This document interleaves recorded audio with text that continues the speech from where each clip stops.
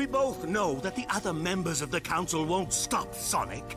They lack vision and imagination, unlike you. You think I have vision and imagination? Perhaps. Or perhaps you're just a stupid fox. Alone. Useless. Pathetic. I'm pathetic? You're the ones with unlimited power, and all you can think to do is build a bigger robot. Tell me how to defeat Sonic! So I need to think like Sonic? I knew you had vision and imagination. Hey, wait! I didn't... Yes, yes you did. This is frustrating. I can't find a single thing wrong with it. The Kraken? It can't be. We left it dead in the water. Let me show you how it's done, Sonny. You can't drive worth a darn. You go down to the engine room and fix the communication motherboard. All right.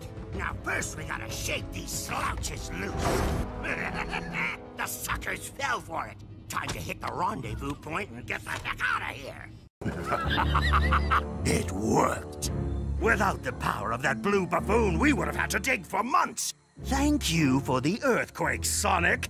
And thank me for my plan, which went off spectacularly. And it worked too! Of course it worked! I just said that! let's go. Papa wants his prism.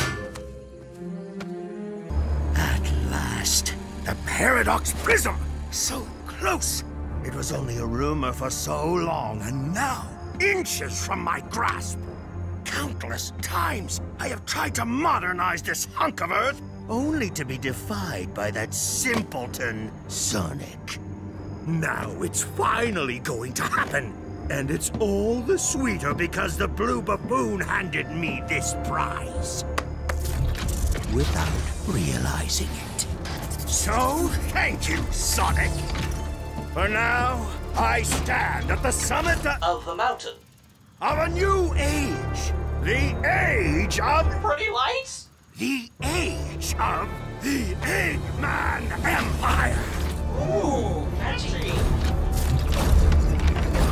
And now... Ah!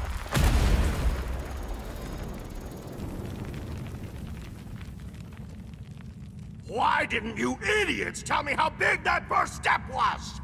Sorry, boss.